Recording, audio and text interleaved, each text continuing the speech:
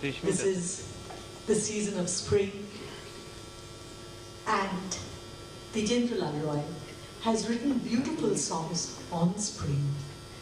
Actually, it was difficult which one to finally present through dance because all the songs are so beautiful.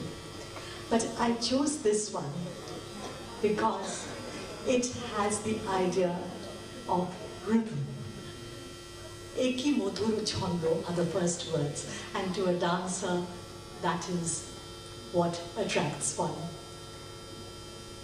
Generally, beauty is looked on as something that we see.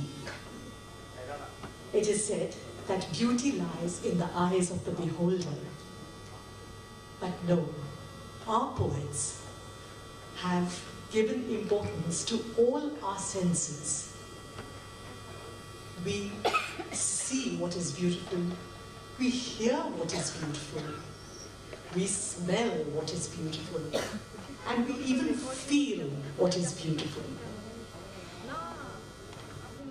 একই মধুর ছন্দ মধুর গন্ধ পবন মন্দ মন্থর the air as it touches us fills us with a fills us with a sense of beauty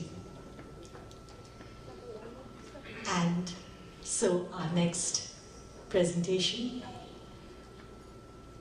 about spring about the joys of spring and naturally whenever spring is there there is happiness and even the touch of Sri Krishna with his flute.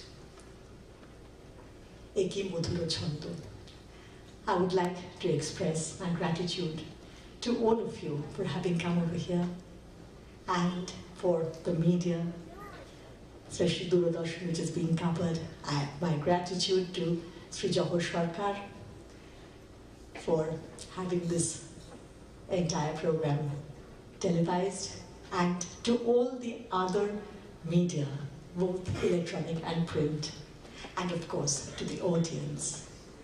You have come over here to encourage not only us at Ananda Chandrika, but to keep alive the heritage of our country. It is through you that Dwijendralal Roy is being celebrated. Thank you for being here. Eki Madhura Chanda.